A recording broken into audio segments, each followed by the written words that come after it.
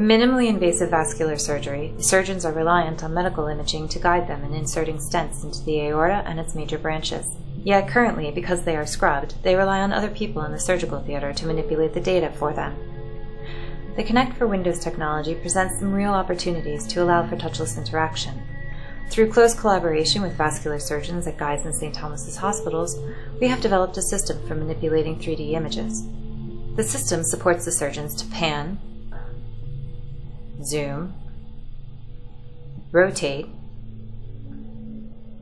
lock, mark, and fade the 3D overlay to view the underlying 2D fluoroscopic image.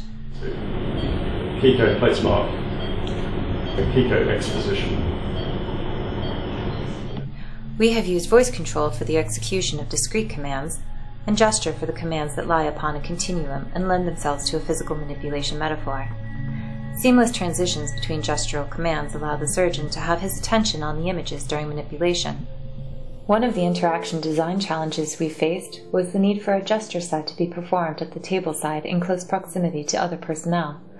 Therefore, the gestures needed to be confined to the area in front of the physician's torso, as the space above, below, or far to the sides of that area may not be sterile.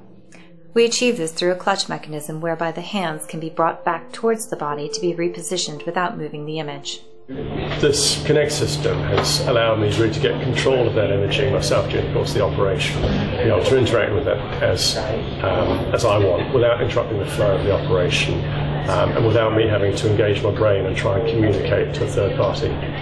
Since May 2012, the system has been in use in patient cases in the vascular surgery theater at St. Thomas's Hospital.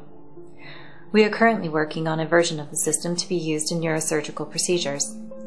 Outcomes of our research in various surgical environments and with different imaging systems will lead to our deep understanding of how to properly design for touchless interaction and the resulting changes in practice from the deployment of these systems. This project is funded by Microsoft Connections and is in collaboration with researchers at the School of Computing and Communications at Lancaster University and the Imaging Sciences and Biomedical Engineering Department at King's College London.